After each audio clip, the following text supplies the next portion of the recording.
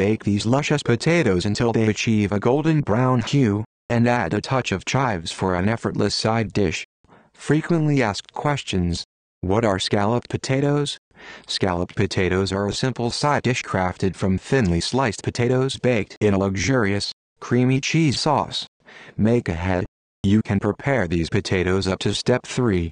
Transfer the potato mixture to the designated baking dish, let it cool completely, cover it with aluminum foil, and refrigerate for up to 24 hours.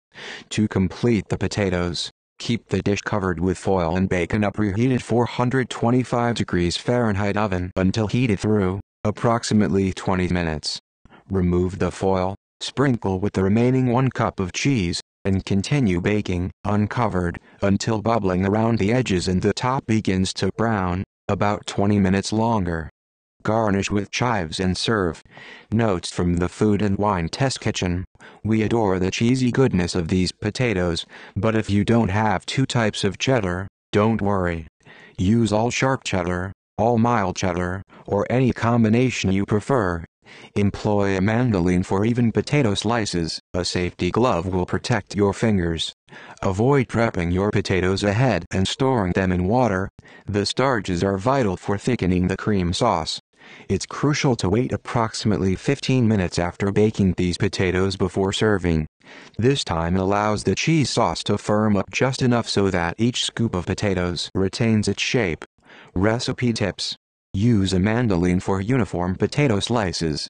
Choose all sharp cheddar, all mild cheddar, or your preferred mix. Avoid prepping potatoes ahead and storing them in water. Starches are crucial for thickening the cream sauce. Recipe variations.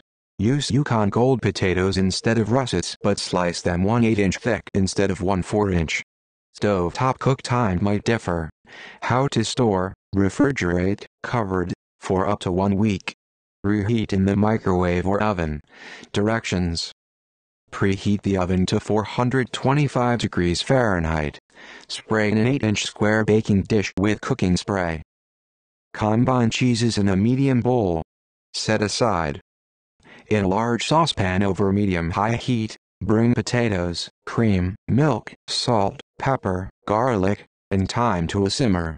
Reduce heat to medium-low, cover, and cook stirring occasionally, until potatoes are mostly tender, about 8 minutes. Remove from heat, gently stir in chives in 1 1 2 cups cheese mixture. Discard thyme sprigs. Transfer the potato mixture to the prepared baking dish, spreading it into a relatively even layer. Sprinkle with the remaining 1 2 cup cheese mixture.